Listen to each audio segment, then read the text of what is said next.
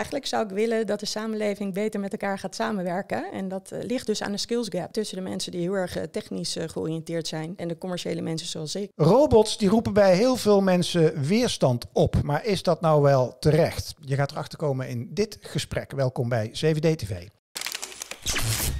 Hartelijk welkom en bij mij te gast is Tamar Neter van RobotWise. Ja, de naam zegt het al, Tamar. Jij doet iets met robots. Ja, dat klopt. De deelnemers vooral, ik niet. De, ja, de deelnemers, de deelnemers. Wie zijn de deelnemers en waarvan? Ja, de deelnemers uh, van onze lesprogramma's en bedrijfstrainingen zijn uh, kinderen op scholen. Ja. Eigenlijk alle typen onderwijs. Uh, maar ook mensen zoals jij en ik in het bedrijfsleven. Omdat onze trainingen gaat echt om persoonlijke ontwikkeling. Met een robot als hulpmiddel. Die... Oké, okay, dus jij bent... en, maar, en waarom heet het RobotWise? Vertel eens, naar het, ga eens terug naar het begin. Ja, wat een leuke vraag. Uh, in 2016 kwam ik er eigenlijk achter dat ik heel vaak de vreemde eend in de bijt was in het bedrijfsleven. Ik was van de communicatie salestak en ik werkte veel samen met webdevelopers. Je werkte bij technologische bedrijven of wat? Ja, een online marketing intelligence bedrijf. Okay. En um, ja, ik verkocht met mijn team uh, vaak uh, dingen die geprogrammeerd moesten worden. En dan kwam ik terug op kantoor met het team en dan was het van ja, wat jij hebt verkocht, dat kan helemaal niet, dat bouwen we niet. En het wordt niet, bestaat niet echt in mijn uh, woordenboek. Ik zeg, ja, dat kunnen we wel. Het is een bekende strijd tussen de business en commercie en de technisch aan de andere kant. Hè? Dat klopt, want ja. ik had eigenlijk helemaal geen te technologische ervaring. Uh -huh. En toen dacht ik, ja, ik kan het de mensen, de techneuten ook niet kwalijk nemen dat zij uh, ja, niet zo commerciële gedachtegangen hebben of mee wilden naar klanten ja. om uh, creatieve oplossingen te bedenken om vervolgens te bouwen. Um, maar ik kon het ook mezelf niet kwalijk nemen, want ja, ik ben uit 78 mm. en op school hadden we toen heel weinig ja, of eigenlijk geen technologie, geen mm. wetenschap en techniek. Nee. Uh, ja, figuurzagen deden ja. we toen. Ja, dat was het wel. Ja, dat was het wel. Ja. En ik heb een uh, zoon en een dochter, nu inmiddels 18 en 16. Maar in 2016 zaten ze dus nog uh, in de basisschool, de basisschool. Mijn man is nu onderdeel van de schoolleiding in het voortgezet onderwijs. Aha.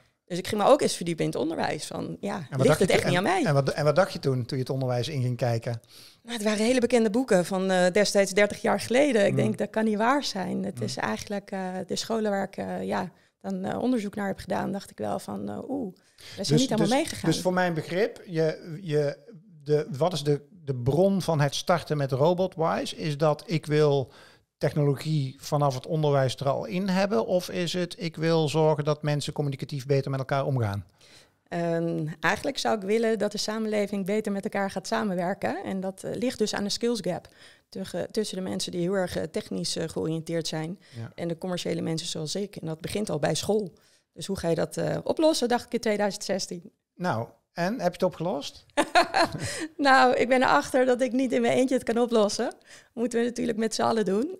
dus ja, ik hoop eigenlijk door het gedachtegoed dat ik in 2016 had en eigenlijk daarna een bedrijf ben gestart. Want het was nooit mijn insteek. Ik wilde gewoon de school nee, want je, helpen. Want voor duidelijkheid, je werkt bij Marketing Intelligence Agency. Als, daar was je gewoon in dienst. Ja. En wanneer ja. was de dag dat je dacht van... hé, hey, hier zit wel business in dat ik voor mezelf kan gaan beginnen?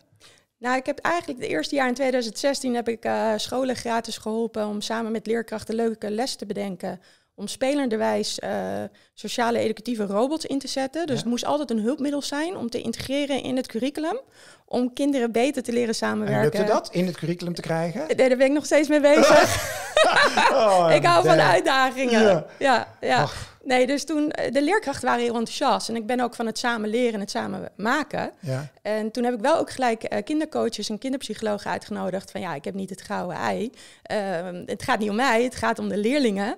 Uh, voor die skills gap dus te verminderen. En het gaat om de leerkrachten die erachter staan op een andere manier lesstof aan ja, te reiken. Ja, dat is een met... absoluut groot thema. Ja. Maar hoe heb je dan, even voor mijn duidelijkheid, hè, want het is je ondernemerskanaal, dus je begint een bedrijf of een organisatie. Was het meteen een bedrijf toen je het startte? Of was het een nee. stichting? Of was het... Nee, ja, dat is wel uh, interessant. Ik ben eigenlijk eerst gestart met een stichting, omdat ik dacht, ik moet een naam hebben. En toen ben ik met een stichting gestart, zodat mensen mij serieus gingen nemen. Want ik was eigenlijk gewoon een ja, bemoeizichte moeder. Die dacht, onderwijs kan wel anders om het bedrijfsleven nou, en met beter... een stichting kom je misschien iets makkelijker het onderwijs in als met een BV ook nog. Ja, dat ook nog. Ja. ja. Maar hoe verdiende jij dan dat eerste jaar geld? Niet. Helemaal niet. Ik heb maar gewoon hoe... eigenlijk mijn spaargeld opgemaakt. Dus oh, ja? Uh, ja, mijn man was er wat minder blij mee. Ja.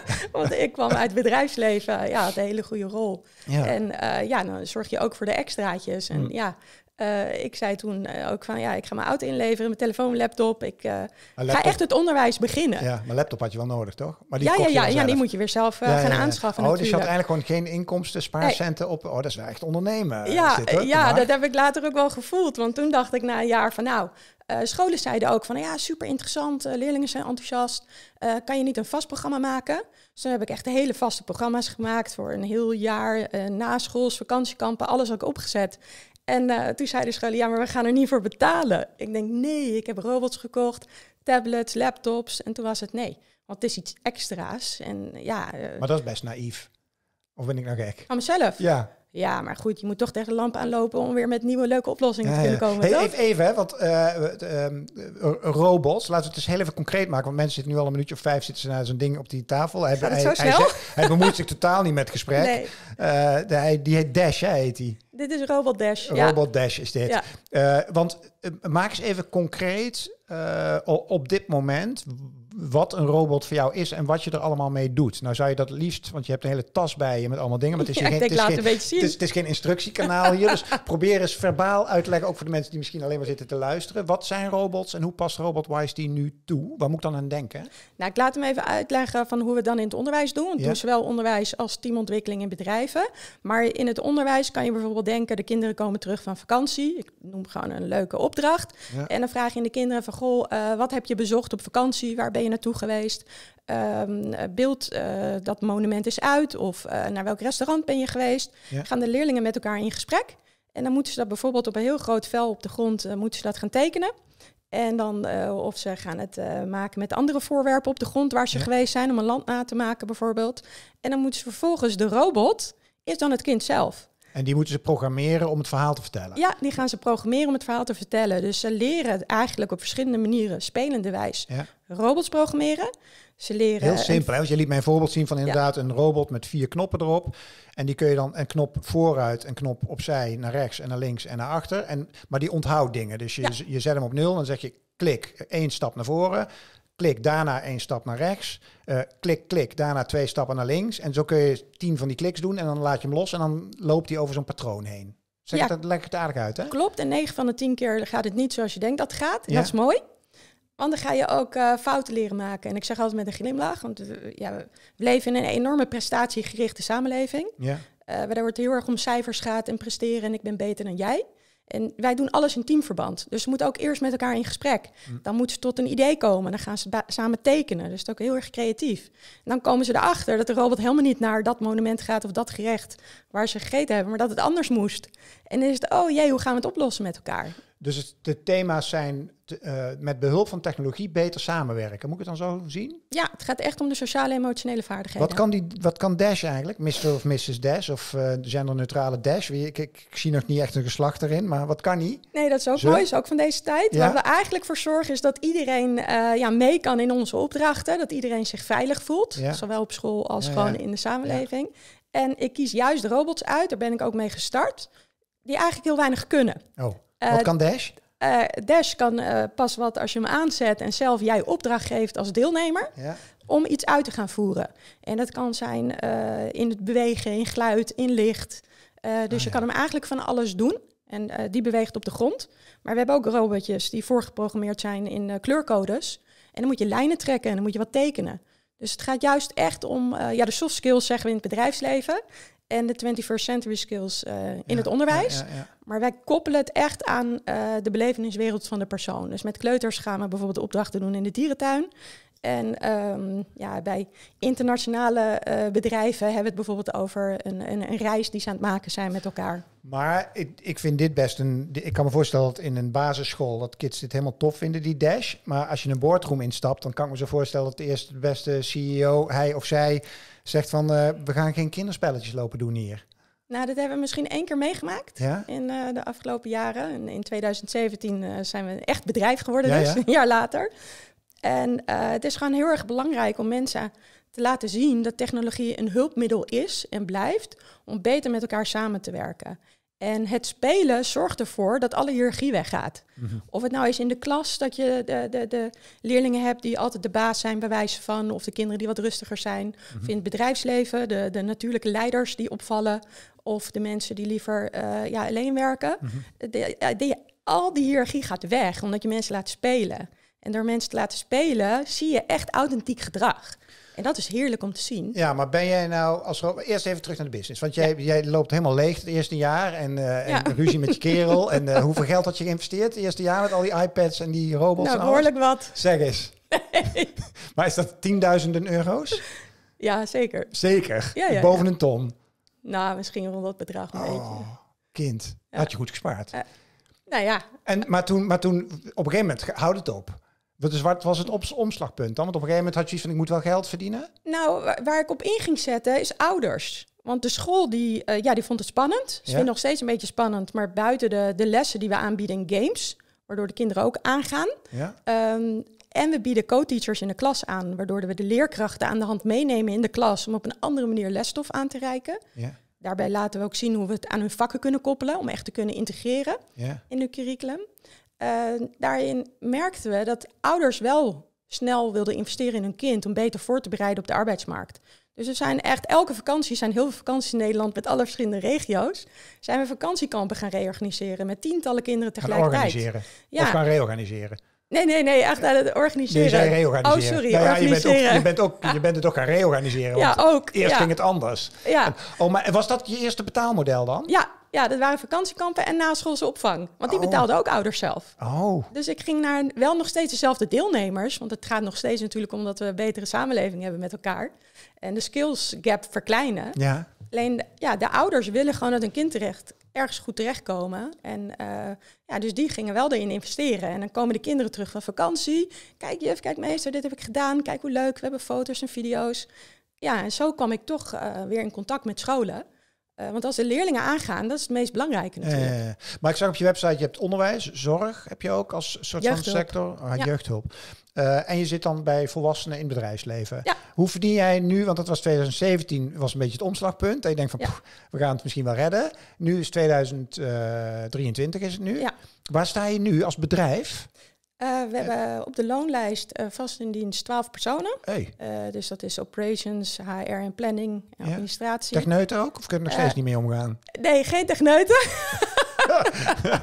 kan ik er niet mee omgaan? Ja, nee, of andersom. ja, Nee, want eh, wij kopen wel echt gewoon de technologie in. ja Eh, we zijn nu wel in een fase, maar daar zal ik wel zo wat meer over vertellen als dat nog kan. Ja. Om ons eigen techniek eh, te bouwen. Oké, om- maar eerst nog niet. Je hebt 12 ja, mensen in 12 dienst. mensen in dus die moet je allemaal betalen. Dus dan kan ik ook ongeveer omrekenen als je gezond bent. Dan draai je echt wel een behoorlijke omzet met 12 Ja, maar mensen. volgens mij, eh, ze werken niet allemaal fulltime. En dat Oh, is ook oké. Hoezo tegenwoordig... volgens mij? eh, nou, ze werken zeker niet allemaal fulltime. Maar ik weet niet of hoeveel FTE het exact zit. Nee, Oké, maar je hebt Ehm, 12 mensen op de payroll staan. Ja, 12 op de payroll. en waar komen de inkomsten vandaan voornamelijk? Is dat divers? Ja, want we hebben nog 20 eh, van flexibele schil. We hebben Oké. 20 freelancers die dus in de klas helpen met de lessen te organiseren.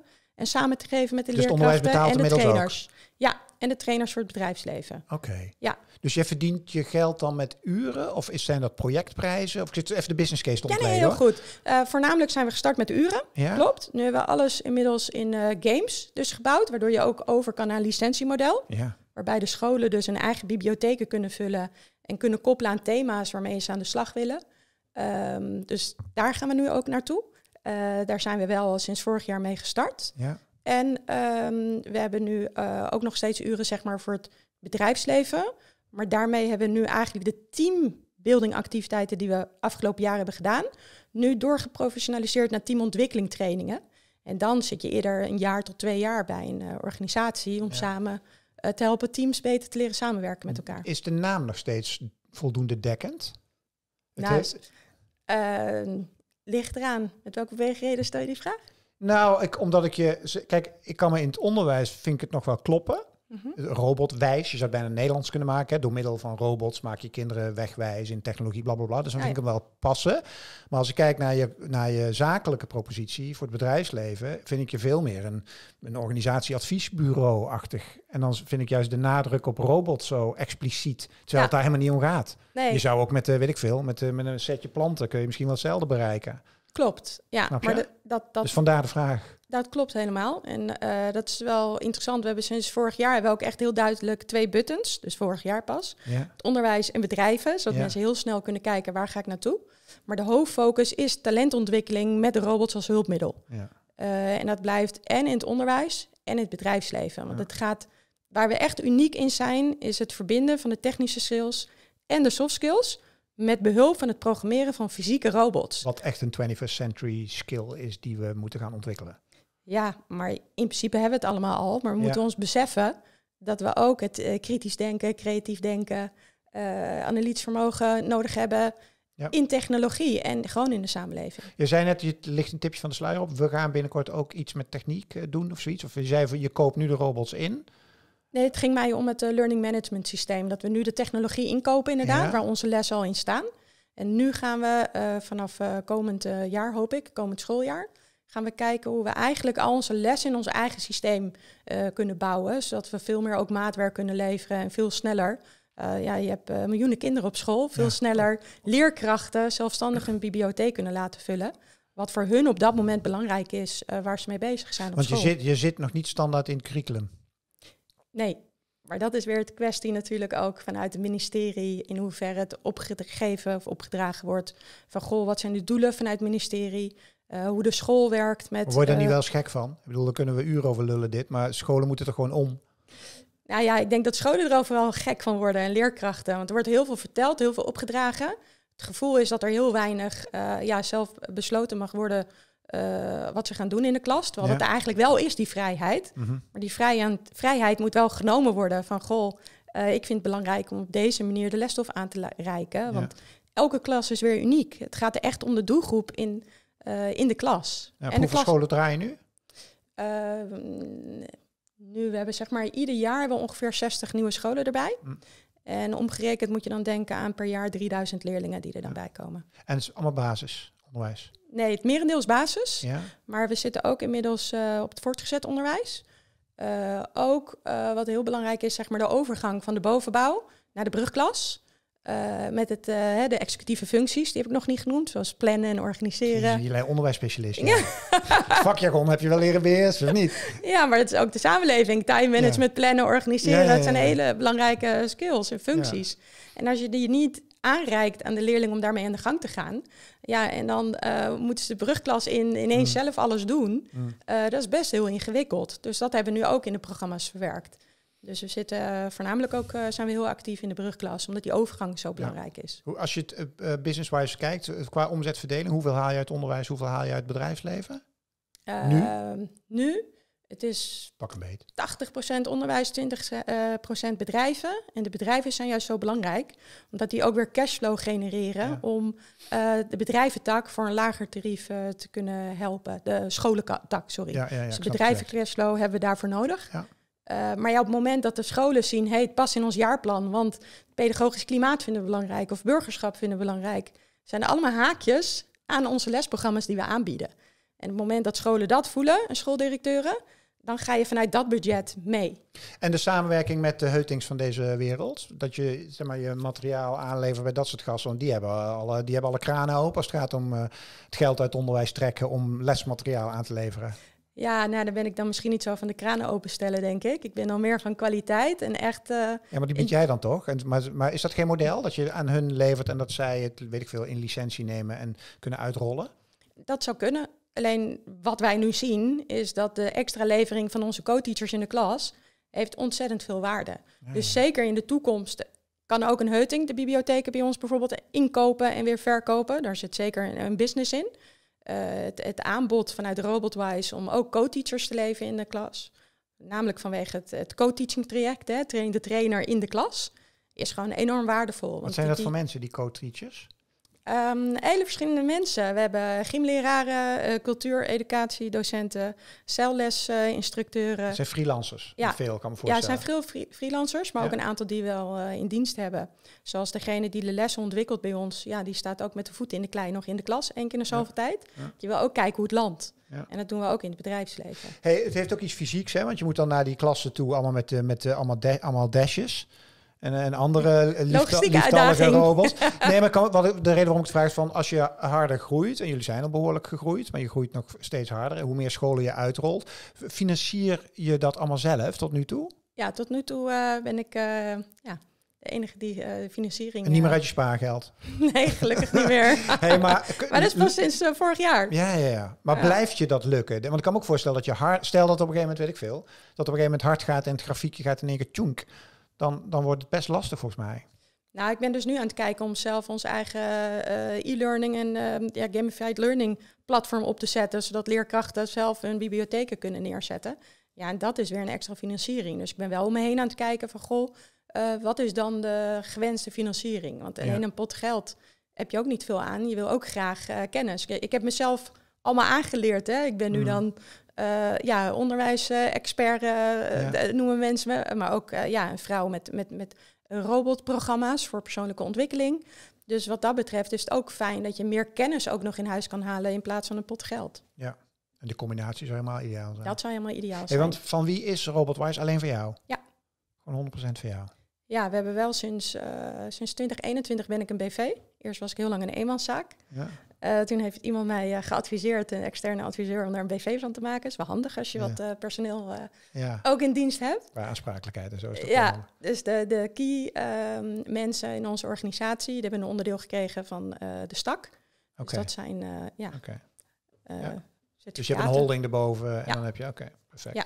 Ja, dus dat zijn drie mensen. Hey, even nog even even uitzoomen. Ja. Eh, want eh, we, heb- je hebt het hier letterlijk over nou ja, robots, weet je, what's in the name, hè, maar we noemen dat dan maar even een robot. Maar we hebben natuurlijk op dit moment, eh, gaat het helemaal los als het gaat om AI en alles wat erbij komt Ja. kijken. En heb ik het idee dat het, zeker als we dan even naar het bedrijfsleven kijken, overigens, hè, uiteindelijk begint het allemaal in het onderwijs, maar dat het wel wat verder gaat dan een leuk hulpmiddel om skills te ontwikkelen of beter samen te werken. Hoe zie jij het, die toekomst van AI, robotisering, eh, alles wat er om ons heen gebeurt. Nou, het is eigenlijk een hele mooie ontwikkeling. Maar ik zie het wel allemaal net zoals de introductie van de robot. Zie ik hetzelfde als de ontwikkeling eh, jaren geleden van de, de opkomst van de mobiele telefoon.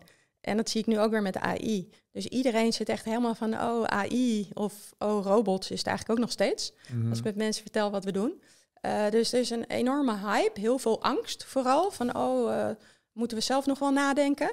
Terwijl dan toch vind ik dat weer te maken heeft met hoe ga je ermee om? Dus dan zit je toch weer op die skills. Mhm. Eh, wat eh, kan AI voor mij betekenen in de klas of eh, voor mijn marketing of voor de zorg? Ehm, ja, het is natuurlijk informatie. Maar wat kan het gaan betekenen in de zorg? Want we hebben natuurlijk, we belanden natuurlijk langzamerhand in een techland. Zo, nou ben ik ook geen techneut, maar ik vind het een super interessant onderwerp. Dat AI ook daadwerkelijk zelf creëert en leert. En dus het is niet meer alleen maar zo van ja, een, een domme desktopcomputer en eh er zit een lege harddisk in en die moeten wij gaan vullen. Maar het zijn lerende systemen geworden. Ze genereren content. Ze genereren context, ze maken plaatjes en video's en ze, ze, ze doen van alles. Ehm, dat lijkt me. Hoe zie jij de impact daarvan? Ja, het is een enorm grote impact.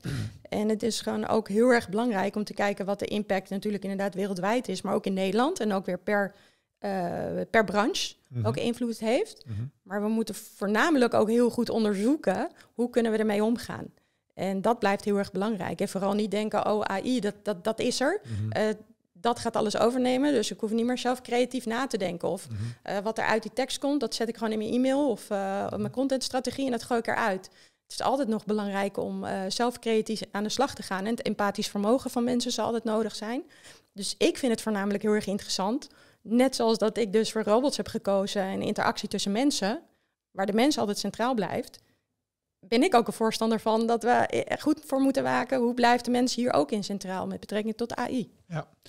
Bijna ethische discussie en filosofische discussie die je ook kan voeren. Wat dat betreft een beer interessant onderwerp om centraal te stellen in het onderwijs, zou ik ze stellen. In plaats van Nederlands, Engels, Frans, Duits uit je hoofd leren woordjes, toch? Nou, het is beide, is natuurlijk wat Ja? voor te zeggen. Het ligt eraan eh waar de interesse ook ligt van het kind. Dus ik ben altijd wel voorstander om eh, te kijken van eh, wat zijn de talenten van kinderen. Daarom Ja. zetten we daar ook echt in op ehm, ja, zelfreflectie. Kijken van, goh, wie ben ik? Eh, wat kan ik? Wat kan ik met minder goed? Waar zou ik in willen leren? Mhm. En daarin zou je dit ook zeker ehm, kinderen mee aan de slag willen laten gaan met AI. Maar ja, in het onderwijs zit je ook zeker inderdaad met aspecten als eh, veilig omgaan met de content of zelf content erop te zetten. Ja. Ehm, volgens mij gebeurt er ook al van alles natuurlijk in alle social media met AI. Ja. Ehm, dus wat dat betreft, ja, ik heb zelf twee kinderen, die zijn nu wat ouder. maar het blijkt best ingewikkeld als je wat jongere kinderen hebt. En ja. ja die overal maar van alles communiceren. En je weet niet met wie je communiceert. Dat is natuurlijk ook steeds meer de uitdaging. Was je plan met RobotWise? Of maak je geen plannen? Ja, heb ik wel geleerd. ja, ik ben, natuurlijk, hey, ik ben natuurlijk in het bedrijfsleven gegroeid. Ik wilde gewoon de school helpen van mijn kinderen en het bedrijf, ja, het bedrijfsleven helpen om beter met elkaar te kunnen functioneren. Wat zijn je harde lessen geweest als het gaat om het opbouwen van een bedrijf? Want inmiddels heb je nu twaalf mensen op die payroll staan. Je hebt geleerd een beetje om geld te verdienen. Uh, wat zijn je belangrijke lessen geweest? Ja, misschien toch uh, met plannen beginnen. Maar ja. als je nooit van plan was om met iets te starten, hoe kan je dan met een plan uh, beginnen?